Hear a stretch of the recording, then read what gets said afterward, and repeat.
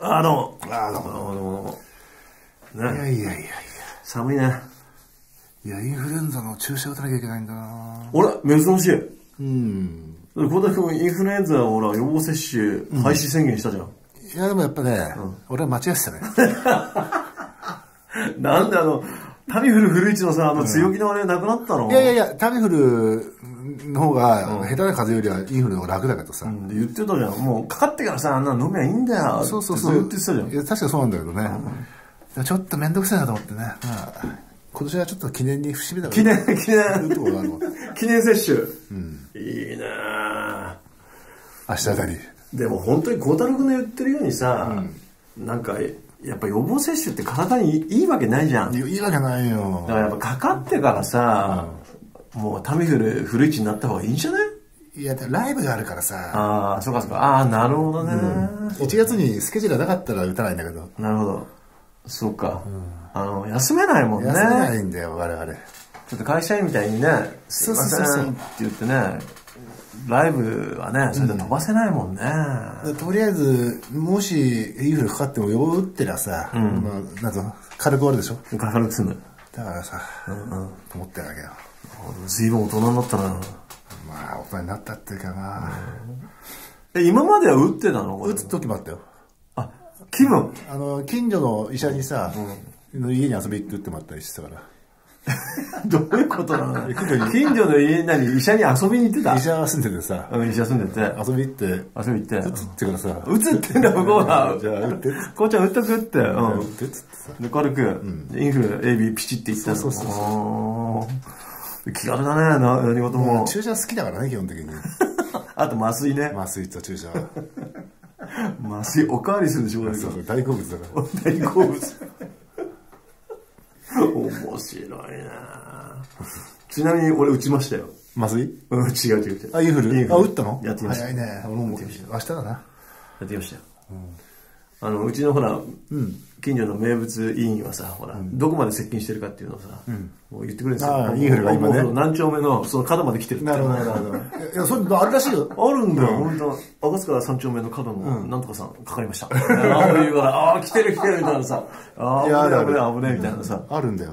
あるわかるんだよね、医者はね。そうそうそう。そうそうそう。俺打ったんだよ。そうか、俺もや、ぼちぼちだな。あれがさ、シシステマチックで好きなんだよね。あそう？うん、はい、口見して、喉 OK。はい、胸開けて、みたいなさ。うんはい、OK。なんか、今日卵食った？とか聞かれたけど、俺。そうそう、だからそういう感じでさ、うんいろいろこう、それが、もう全部システマチックよ。打ちたいな、また。なんとか何ミリっつって、ピシッてさ、早いよ。いくら今？おー、3000円切るぐらいかな。あ、本当。うん。安いね。安いね。3000円。これで高熱がいくらか下がるならさ、そうだね。CD の1割で値段。1万円だよ。じゃあ、これは下手な CD よりインフルだな。いいぐらい CD 売れなくなるわけだよ。そう CD 売れなくなるわけだよ。みんなインフル。ライバルがインフルだもん。打ってんのかなでもみんな。意外と打ってると思うよ。意外と打ってっか。どうなのかな。意外としれっと打ってるよね、みんなね。なんかやってるよね。必ずでもさ、あのさ、年末の給でなんかもらってくるからさ、風邪かインフルか。必ずね。おっかなくてさ、危険だよね、あそこね。あ、そう、金が住んでるよね。楽屋でしょ下北急っての場所はさ、あの楽屋。楽屋がね。ホールの方じゃなくて楽屋よ。違う、あの日だけだよ。ああすごい出入りするからそう。かもういろんなバンドが来てるから、物騒で派手だった、去年。さん一回さ、誰だっけ、セカンドラインかなんかでさ、ライブやった時さ、対バンのギターがインフルだって聞いてね、噂を聞きつけて狭い楽屋でね、やめてよ、つってね。でも向こうもマスクしてるから一発でバレて、俺たちも楽屋入るたび息止めてたもんな。でもほんと素潜りでもするように聞かれてさ、で出てきて、やめてよマジほんとさ、つって。中止してよ、と思って。中止してくれよって思ってね、あれ怖かったよね。いや、怖かったよ。物騒すぎたよ、あれ。あの立場になりたくないもんな。本当はいけないんだよ。いけないやっちゃいけないよな。でも向こうから言ってきたからだって、あれカサンドラクロスだよ、俺たちだっての。本当だね。あれカサンドラクロス見てたから余計怖かったよね。確かに確かに。やばいよ、これ、と思って。俺たちみんな死んでくよ、みたいな。楽屋入ってなかったもんね。そう。寒いのにね。寒いのにさ。寒いのみんな外出てて。冗談じゃない気の毒なライブだったよね、あれ。着替える時だけね、入ってね、息止めて。お前が出てろよ。本当だよ。関係しちゃうとか言って。本当本当。あれ、車で一緒に来たやつとかやらんいやだと思うよ、機材、機材車の中でさ。絶対映ってるじゃん、だって。もう絶対映ってる。もう絶対あった。まあ、そういう季節なんですよ。えー神奈川の女子高生、佐藤妹子と申します。はい。えー池袋交差点24時は母親が大好きな番組なので、逆にあまり私は聞かないんですが、コレクターズは私も大好きなので、よく母親と二人でライブに参戦していますと。ふー。この番組はあんま聞いてないんだね。なるほど。えー今回はちょっとした相談がありメールを送らせてもらいます。なるほど。私が通っている高校は体育の授業で指定の体操着がなく、生徒が適当に買ったジャージや好きな T シャツを着て授業を受けてる。ふー。で、そこで私はコレクターズのライブの時に買ったニックニックニック T シャツがかっこいいと思って着ていたところ、友達からニックと呼ばれるようになってしまったと。つまりニックネームがニックになったね。なるほど。もうクラスでは割と定着してきたんで、なるほど。定着してきた。えー日本の女子高生のあだ名がニックというのはどうなんでしょうかなるほどお二人の意見を聞かせてください。うん。えーちなみにクラスメートはニックニックが曲名であることを知りませんと。なるほどな。なんか嬉しいだか寂しいだか分かんないね。体育の時聞かれてんだよ、オタクニックティー。まあいいんじゃない？だって、サオのステージ衣装だよ。そうだね。サオ、サオのステージ衣装がさ、田村君だってそうだよ。田村君ってそうだよ。スピッツね、ピローズが、おね、花のね、おお舞台でやってるその T シャツがさ、体育で着てんだよ。まあね、普及したってことですよあ、。普及したってことだね、これ。ニックね、女子高生の。男の名前だからな。まあそれはそれで一つの思い出としてさ。面白いね、でもね。で、孝太郎君たちは、っていうかさ、目白はさ、体育の時はやっぱりあったんでしょ？体操服。もちろんだったよ。どういう感じなの？俺らの前の年までは、解禁シャツに解禁シャツ？半ズボン。に半ズボン。そう。何色？俺らから、普通のこう、なんつうの ?T シャツみたいな感じだった。うん。ところが、兄貴がいるやつらはお下がりだから解禁シャツなんだよ。それでも OK。オッケー。逆に、かなりイケてるように見えるわけですよ。なるほど。それ解禁シャツで体育やるやつがもうかっこいいんだ。レアじゃんだって。そんなにいないんだもん、いないいなで、もううちのクラスにいたさ、てっちゃん、たっちゃんっていう双子がいたんだけどうんてっちゃんたっちゃんうんこいつらが兄貴のお下がり着て決めてるわけですい。よ。なるほど、鉄、鉄が、鉄札が。相当かっこいいんだよね。うーん。裕次郎の映画みたいになってるの、孝太郎君。もうそうだね。だから、羨ましくてさ、うんうん。畜生とか言ってたんだけど。なるほど。え、でも、何で、それ、半ズボンは普通の半ズボン？半ズボンは、向こうはちょっと、割と、面のさ、伸びないやつなんだよね。なるほどで俺らはちょっと伸びるやつだったんだよね。ずいぶん差があるね、だから、モダンにななったんだけうんうど、んうん。でもちょっと途中で向こうは向こうのかっこいいね。かっこいいよなフィフティーズなそう感じだなそうそうそうそう。ふざけんなよってさ。それで何？今後でもう飛び箱とかもやるんでしょ？そうだよ飛びづらいね、大じゃ事ないよ。でもかっこいいんだ。へかっこいいさ、やっぱ少数派っていうか、だって、学年に3人がしかいないんだよ、そんなの。ー。子供はね、そっちに行っちゃいけないんだ。買って新たに。だって兄貴がいたって。売ってないんだもん。あ、売ってないのかも。うん、そう。いわ指定のそういうそうそうそうそう。スポーツ用品そ店で。んなこと知ってりゃさ、1年前に準備しといたら。なるほどね。でちなみに、孝太郎君はその普通の T シャツにそう、白の下は？指定の。ジャージジャージジャージ。半ズボン半ズボン。なんだ。中学は？中学もまあジャージか似たようなジャージだった。半ズボンだった。半ズボン？半ズボンだった。うっそー。本当だよ中学は違うでしょ。え高校は長ズボンだったけど。へえ。中半ズボン。マジで？うん。これ気候の差がね。中学からもうジャージ、普通のジャージだよそ。れ赤木おろしのせいだよ。そう、赤木王子のせいかもしれない。本当に。うん。半、半。で、学年によって色が違うんだよ。だから赤とかさ、青とかさ、緑だよ。この3色だよ。それ何年生か分かんだから。あの、学校のバッジつけるじゃん、胸に。うん、つける。あれの台紙っていうかさ、あの色だ。で、ジャージが決まったの？違う違う違う、何年生かわかんの。あ、バッジで分かるんだ目。白状のバッジをさ、貼るさ、なんかフェルトみたいなこう、薄っぺらいのがあるんだよ。それが紫とか緑とか青とかああ、で、それで学年が分かる。学年が分かるジャージの色じゃないんだね。違うんだよ。あ、本当？やばいなあ俺たちなんかちょっとやっぱ平壌っぽいよ。そういまあ、った意味で。平壌フィーリングだよね。だから、でもその解禁したって美容に落ちる平壌フィーリングだよ。そうだよね。それで髪に反り込んでたらね。うん結構平壌だよね。そうそうそう。だから、まあ今思うと、普通のジャージ弱かったけどさ、あの時やっぱなんかさ、その、少数派レア物にさ、こう惹かれるじゃん。いやでも伝統だなかっこいいね。ねそんなの一人もいなかったよ。え、いたよ。相当羨ましかったもん。で海パンは？カイパンはいわゆる普通の、だから、それがあり、その、会見シャツの時代の人まではふんどしだったんだから。ふんどしなの？そうそうそうそう。で、ちなみにその、つまり俺の、俺の、俺の一個上まではふんどしだった。えー、じゃあ俺がふんどしだったってこと小太郎君。そうそうだよ。小太郎君のエリアにいたら。そう。ずいぶん差が出ちゃうね、これ、50s と 60s みたいなさ。そうそうそうそう。ふんどし。これでもそれは何免れたってことだ。それはまだそれは憧れなかったでしょ、これ。憧れないし、てっちゃんたっちゃんもう用意してこなかった。用意してこなかった、ふんどしは。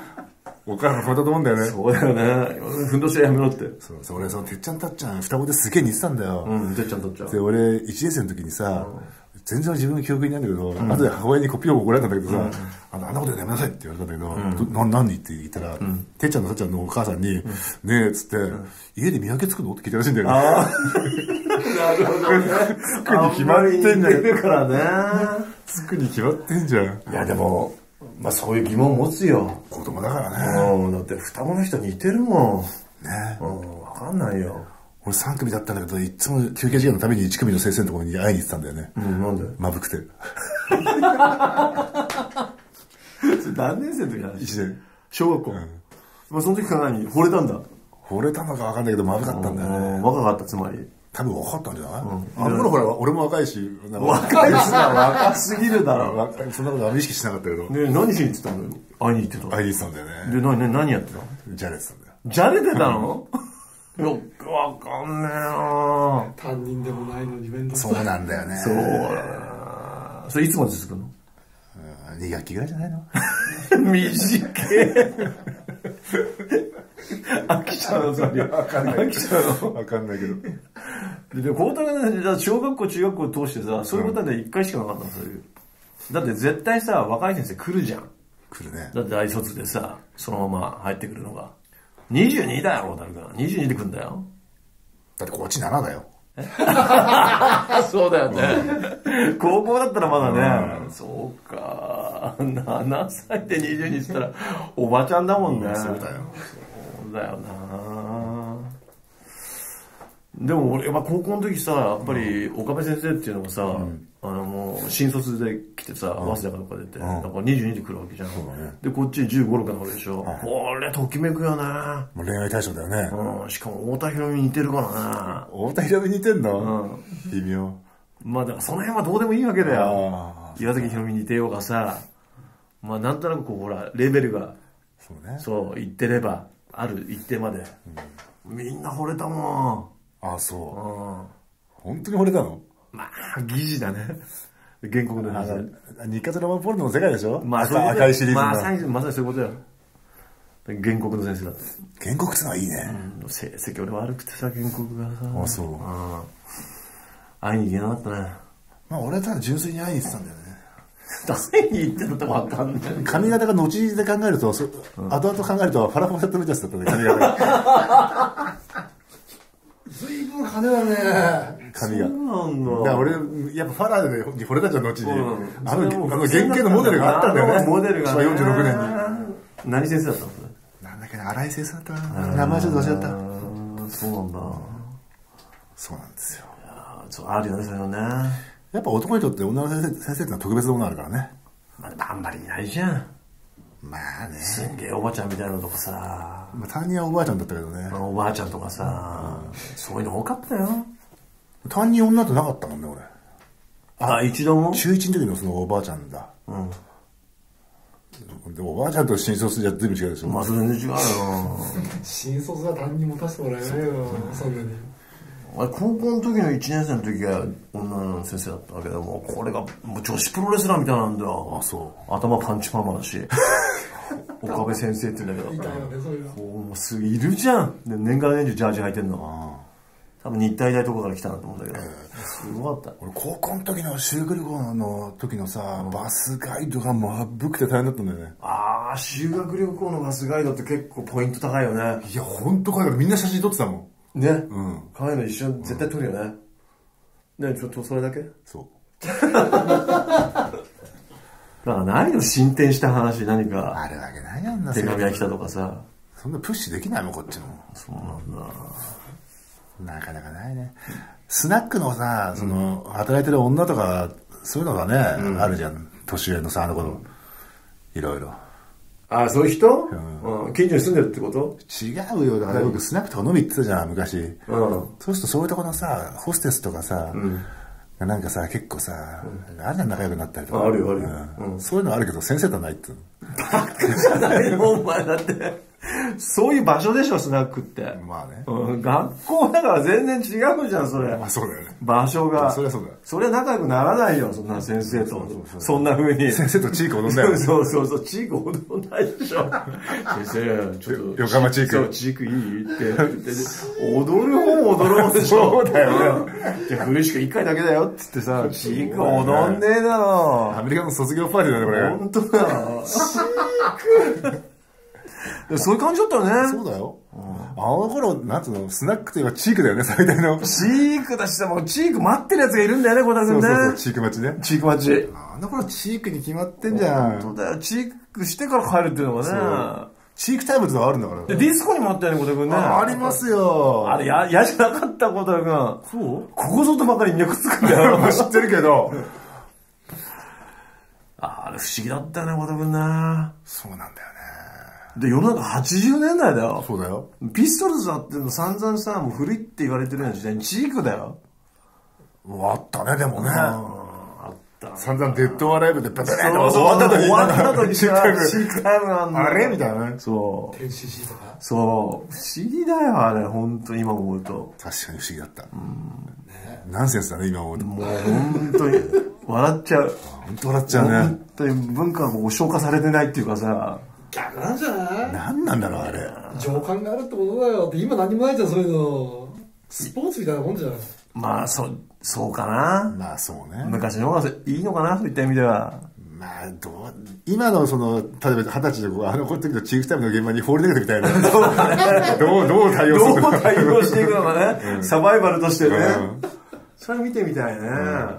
案外順応するんじゃない？すると思うし、いろいろ楽だと思うんだけど、あ、いろんなことがね。うん、甘酸っぱいな。甘酸っぱいな。って。でも、チーク踊りたいやつなんかいなかったな。チーク、あそう、え踊りたいけど踊る相手がいなかったっていうのがすごいみんなまあ、そりゃそうだけどさ、結構さ、サラリーマンやり始めて3年やってたけど、行こう行こうって誘われてさ、何人かで行ったんだよ。まあそうだよねあの頃ね。で川口だったら新宿までで、まあ出るじゃん、すぐ。たら始まっちゃうわけだよ、もチークがう。チークが、えー、みたいな。隣の席のなんとかさんみたいな人が、もう目で求めるわけだよ、小田君。わかるでしょ、でも次の日は会社があんだよ。わかるこっちだってさ、そうぴったりく。ね。俺もジャスコの販売台なんかの女の子とチーク怒ったもんそうでしょ？そういうことだよ。そういうこと。嬉しくなかったよね。あのチークはね。あのチークは。嬉しいチーク嬉しくないチークあそうるからしかも一日何度も訪れるチャンスはないからね。そうなんだよ。それをさ、嬉しくないチークが一回やってきてさ、しまったと思うんだよね。しまったと思って、その日が終わるわけじゃん。仕掛ける前に仕掛けられて終わるんだよね。そうそうそうそう。本当に、そういうことだよ。でも今はチークさえないんだもんね。かわいそうだね。かわいそうだよね。チークタイムあったらね、もっと出会いがあんのに。そうだね指通じんのかなチークでちょっとビジュアルでチークナンバー作ろう、マジで。あそうちょっとやっぱ光沢歌ってもらわないとそれ。チーク歌歌入りなの？うん、二人だよ。あいいねそれ怒りんじゃ歌が踊れないもんねそう踊れないもん。今度来年のそのビジュアル面の2月の大阪ね、なんか雄三カバーしようかな。やってよ。ね二人の、みたいな。え。それやってないよね、それ王道やってね。ないんで、王道。すぎるよね。いやーでもそのやらないとわかんないからな。そうなんだよな。青い、なんだっけ、星、屑星屑か、あれとかすごいいい歌なんだけどね。そうね。そういえばこの前なんか、あれでしょ？あの、八木橋の宮地さんがさ、うん。すみちゃんにさ、ああ、星入子さんね。そう、あの、ビジュアル面のそうそうそう CD あげてくれたんでしょ？そう、なんか写真送ってくれたよ。ビザルメンの CD 持ってる。うん。え、星ゆう子さんなんか言ってたの？で、俺ね、すみちゃん何か言ってたって聞いたら、直帰がお揃いねって言ってたんで。直帰がお揃いね。ああ、そうなんだ。まあ、欲しかったコメントだなるほよね。ど。一番、一番嬉しいコメントだね。欲しかったコメントだね確かにね。外さないね。あ、そうね。いくつぐらいもう70す過ぎてるよね。みちゃん70ぐらいじゃないの？70ぐらいぐらいだか。ろうね。いやー、ちょっとビザールメンもな面白いからやりたいんだけどなすみちゃん呼ぶ？うん。本物？そういう、なんか本物呼びたいよね。すみちゃんいいよね。えー、錦糸町。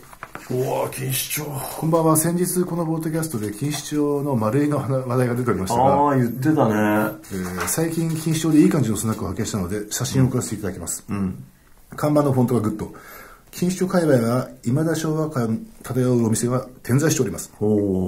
ビザール面リサイタル in 錦糸町なんていかがでしょう、えーあとビザール面でカバーしていただきたい曲があります、証券のブルージーンの子守歌を小太郎さんの歌声で聞きたいんですがいかがでしょうか、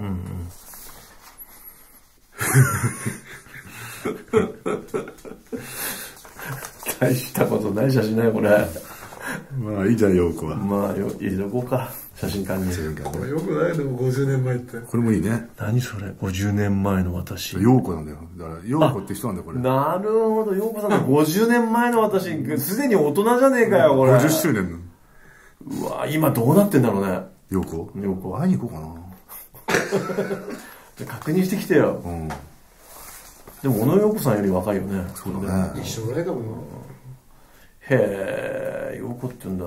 いいねこの字昔、錦糸町の町っていうのが鳥って書いて、うんそんな焼き鳥屋があったよね。へえ錦糸町って、あれ、よかったよ。錦糸町にあったの錦糸町にあったの。おしゃれてんな。池袋ロマンス通りにロマンス通りっていうとこもあるよ そのまま、ロマンス鳥。ロマンス鳥鳥鳥。いい。ロマンス鳥。焼き肉屋、あ、焼き鳥屋。入ったことないけど多分焼き鳥屋だったらいいななんだろうねぁ。何屋なんだよ行ってよ、スルーしてんだよね近いじゃん。いや近いものにも毎日通るけどさうん。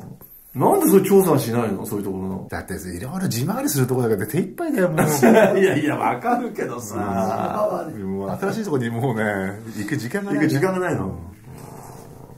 いやフェルナンデスのさ、なんだっけ、村田にもさ、行ってもらえばいいじゃん。村田にね。あいついろいろ孝太郎君の今、カプセル会社そうそう。そうそう。若いもんにいろいろやってもらうともう俺も追いつかないから。追いつかないでしょ？うん。えーリーダー小太郎さんどうも。はい、どうも。仙台在住の P 歴4ヶ月の新人 P です。楽しいな仙台、えー、園でのライブお疲れ様でした。あこれはこの間の、よかったね。うん。コレクターズのワンマンライブ初めて見に行かせていただきました、楽しくてあっという間の2時間でしたと。へー。えー前から2列目ぐらいで手が届きそうなくらいの場所で見た生リーダーは本当素敵でびっくり。実物の方が100倍かっこいいどういうことだえー MC で小太郎さんに軽くあしらわれているリーダー、えーその笑顔も切るとリーダー写真写り忘れ悪いんでしょうかね。と悪いよ。小太郎さんは写真でも実物でもいつでも素敵、おえーなんで今までコレクターズ聞かなかったんだろう。かなり遅いですがこれからずっと応援していきますと。ーなるほそれでは分からないで気をつけてこれ実にこうど。なんか、昔の。オーセンティックなこう。ね本当本当。オーソドックスな。オーセンティックファンレターみたいな感じ。でちょっと今心が現れたな俺。現れた。久しぶりにね。最近ないもんねこういうの、最近もうちょっとね、ちょっとひねりがね、うん、クレームだったりね。クレームだったりね、け変化球多いからさ。昔のおはがきってこういう感じだったじゃん、モデルが。そうだね。悲しくたってさ、3年飼ってたカナリアが死にましたみたいな、そんな感じでしょ？そうだね。確かに。えー、コレクターズはまだツアー中ですね。はい。あさっての、えー、13日はドラムロゴス福岡。金曜日。平日入るかね。まあ全然十分 B1 でも足りるんですけどね 隣の、わけあってロゴス。そうですねなるほど。これ、のびのびと、のびのびロゴス。まあなんかこうね、いろんなものが動いてこう、はい。なるほど。えー23日が京都、はいはいはいはいはい。モジョ。もちろん。うん、これはね、シスタージェット。ジンさんがやってて。ああ、そう。これどっちが先知らん。聞いてないのうん。まあいろいろあって。そうですね。うん、まあ、ととりあえず来年の1月19日の恵比寿リキッドルームでこう、ツアーが締めくくられるということなので、そうだねえーこちらはまあぜひお出かけくださいと。いうことですね。そうだね。あとはまあ、がっつり言って5月の10日ね、小樽君の50歳のさ、そうですね。ね、前祝いを、ね岩手、ね、北上市民文化交流センター桜ホールでやると。なるほど。これチケットの売れ行きもすごい。そうですね。地元がもう大騒ぎ。そうですね。まだ一般発売してないみたいですけどね。あ、そうなんですか。まあ、されたら、ガンと言ってほしいですね。いや、なんかね、もうないんだってほとんど。あ、そうなの？だから、ちょっと一般発売したら、ね、ちょっと急いでいただきたいなと私はそう思うんですだね、本当だよね。まあ、詳しくはオフィシャルサイトで。今から大ホールになるってするっとな大ホールね、極端に大極端に大なんだ。ここまで極端にしなくてもっていうね。そうなの。桁が変わっちゃうんだよね。桁買っちゃう。集合の次武道館みたいな感じなるほどね。それは危険だね。そうなんですよ。えーこのポッドキャストはスタジオ M マガジンのスクラップマガジンのサイトからダウンロードできます。はいえー写真館もこちらから。はい。アーカイブもあります。毎週水曜日更新。はい。P メール受付中、袋24集まる gmail.com。こちらまでお願いします。ね。はい。待ってます。じゃあまた来週。はい。Do the download. Do the download. 池袋交差点24時